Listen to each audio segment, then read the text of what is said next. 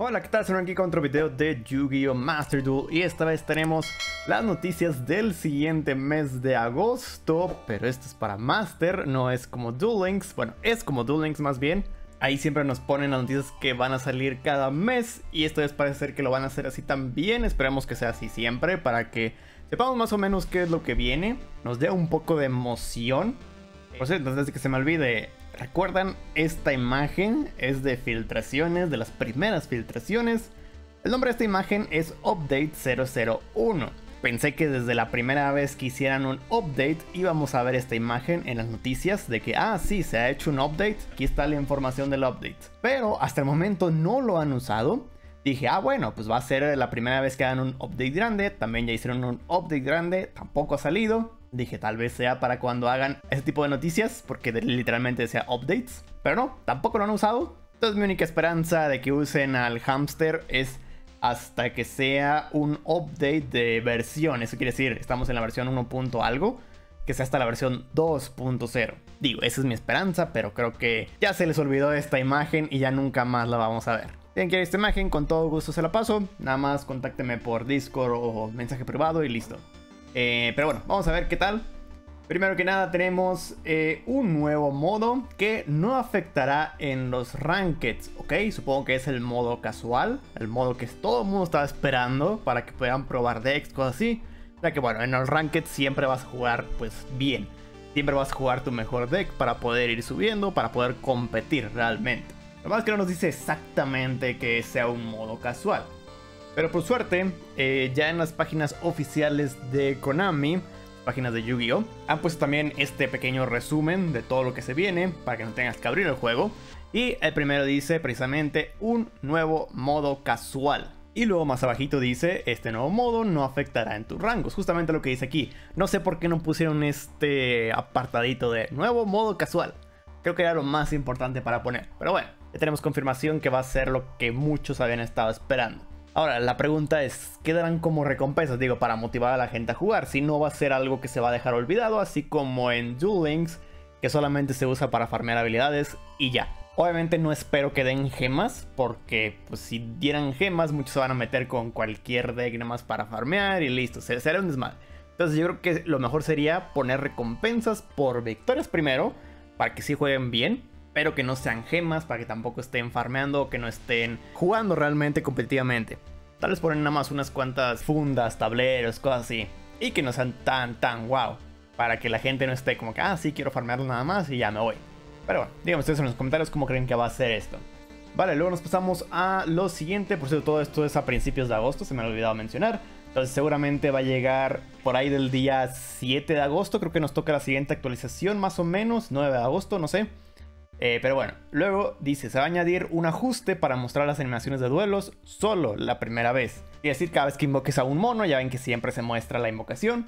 Bueno, ahora ya nada más va a aparecer una sola vez. Muy bien para acelerar los duelos. Espero que hayan más mejoras así para acelerar duelos. Porque sí, una de las cosas principales de este juego es que es muy lento. Digo, aparte que el juego en sí es lento, el hecho de que tengan todas las animaciones y todo eso lo hace aún más lento.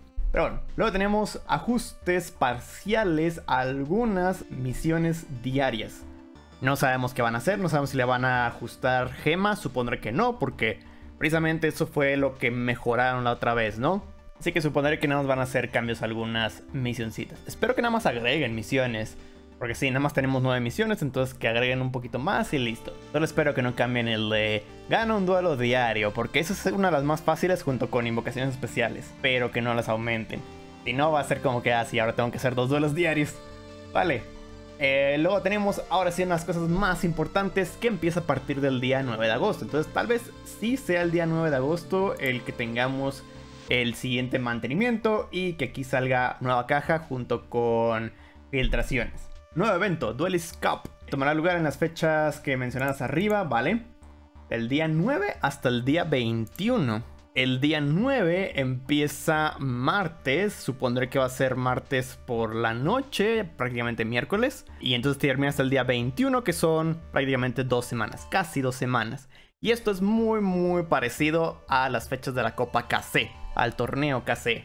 Y pues sí, precisamente más abajito dice Duelist Cup is an event that test your might against other duelists. nos van a probar en contra de otros duelistas usando eh, la lista de cartas prioridades ilimitadas de los Rankeds eh, con duelistas de alrededor del mundo para convertirse en el mejor duelista. Muy muy parecido a lo que es la Copa KC. Entonces suponemos que va a ser una Copa KC como en Duel Links. Para los que no sepan, el formato de Duel Links es los primeros 10 días, eso quiere decir hasta el día viernes, sería viernes 19 en este caso.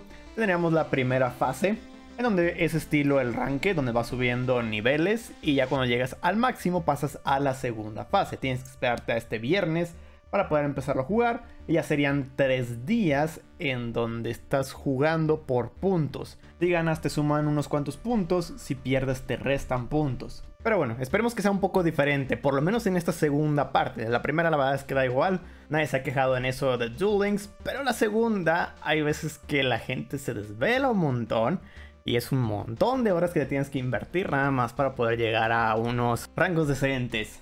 Claro, esto simplemente es si alguien le está invirtiendo muchísimo tiempo, porque al fin y al cabo si tienes un 60% por ejemplo de ganancias, pues siempre vas a ir aumentando. Entonces conforme más juegues, más vas a tener puntos y así te vas a ir separando de las demás personas.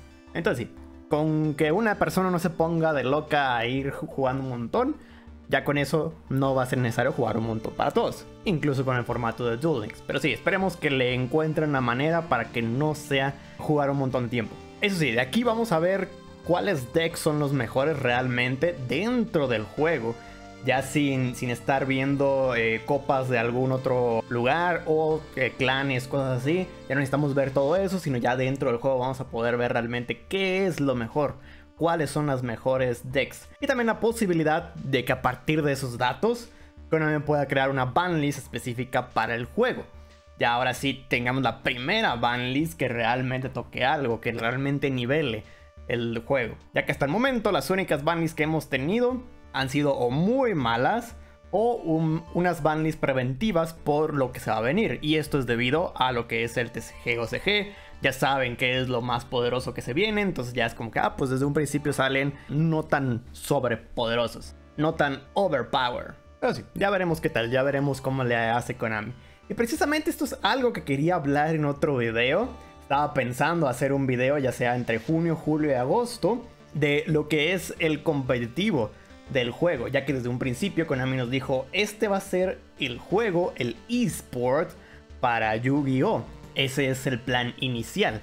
Pero a diferencia de Duel Links, Duel Links tuvo su primer Copa KC después de dos meses nada más. Y este ya han pasado 6-7 meses casi desde que salió y todavía no hemos tenido ni una sola Copa KC hasta agosto. Entonces sí, es muy raro la diferencia entre uno y otro, ¿verdad? Y vamos a ver qué hace Konami, vamos a ver si hace un directo o algo así, diciendo, ah, ok, ahora sí, ya empezamos con lo que es el eSports. Así que me guardaré ese video hasta que ya veamos qué onda con esto. De todas maneras, cuando salga, vamos a evaluarlo, vamos a ver qué tal. Ya después de eso, ya después de que termine esto, yo creo que a finales de agosto ya les haría ese video, en todo caso que no haya sido tan bueno.